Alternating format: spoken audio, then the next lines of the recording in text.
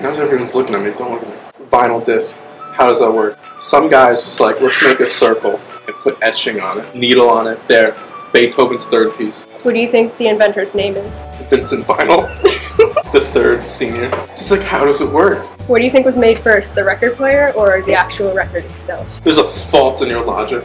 Yo, I have I have a machine that plays something that doesn't exist. What came first, chicken or the egg? People say the chicken. I think it's the egg. Past ancestor of a chicken lays an egg. Bam, bam, you get a chicken. What do you think? I magically appeared? We're talking about science, facts, not fantasy. What they do before ladders or something? It's broken up there. What are we gonna do? Just leave it. I guess it's broke. It's I wish there was something that we could possibly we can use to fix it. For people who are saying, fine, you can just put two people like stand on each other's shoulders. But what if the height exceeds like three person? You know what? I'm gonna make it. I'm gonna make a graphic. Exhibit A. This is broken. Yeah, we take this for granted. It's, it's gone. That's a health hazard. Someone gonna fall. Who invented the ladder?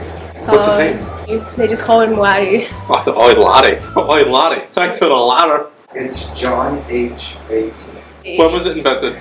in 1862. The ladder was invented. No, it wasn't. What ladder? Like the like uh, in STEM? Ladder. Okay. It Calculus was was invented before the step ladder was invented. What's wrong with the world? I saw this. Like you're immortal, but you have to go back three thousand years. We're talking Romans and stuff, and you're there. Can you feel pain? Are you just there? Like, what do you do? Earth exploded. You're still there. Just think about that. Are we still talking about the Romans or? I'm just saying, you go 3,000 years, right? Sun explodes, you're there. Right? Universe dies of heat death, you're there. That might be your least sensible thought. Is this what they forgot to include in Twilight? Is that a, is that a tagline No. for this class? Is When we it? watch future videos?